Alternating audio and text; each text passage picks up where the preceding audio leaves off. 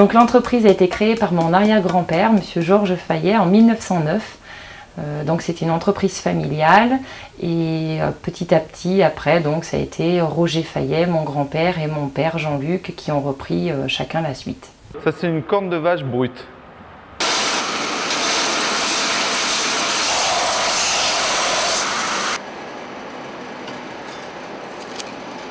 Fait, on fabrique des cannes aussi bien de enfin, différents matériaux. Donc, on travaille beaucoup le, bois, bien sûr, tous les bois exotiques, la corne, le métal argenté, l'argent massif, l'étain massif également. Euh, on a notre propre fonderie d'étain. On travaille avec un argenteur euh, sur la monnerie.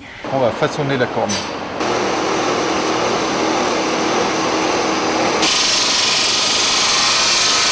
On fait des cannes avec de différentes fonctions.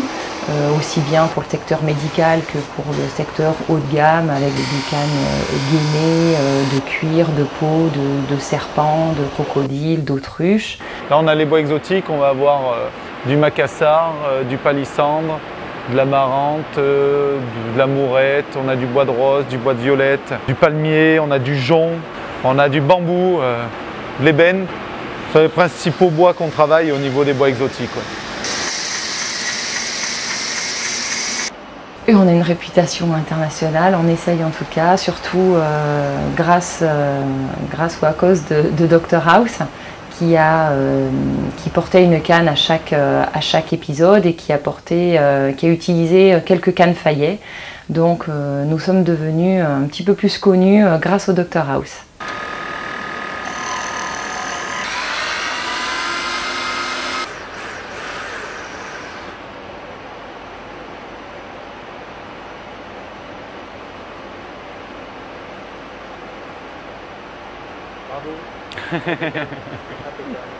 On exporte beaucoup aux États-Unis, après bon, dans tous les pays européens, euh, beaucoup Belgique, euh, Angleterre, Italie, euh, Espagne, Suisse, Hongrie, République tchèque, un petit peu en Russie, beaucoup au Japon, Dubaï, Koweït, Corée du Sud.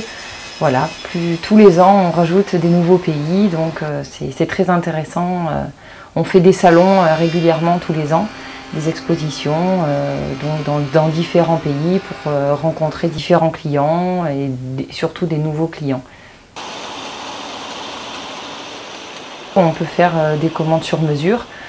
donc c'est là qu'avec le travail du bois exotique, de la corne, de l'ivoire, on peut vraiment faire un petit peu tout sur demande. Donc oui, on peut, on peut faire des cannes sur mesure. On a déjà eu fait une canne avec un pommeau en or euh, pour la famille impériale du Japon il y a quelques années.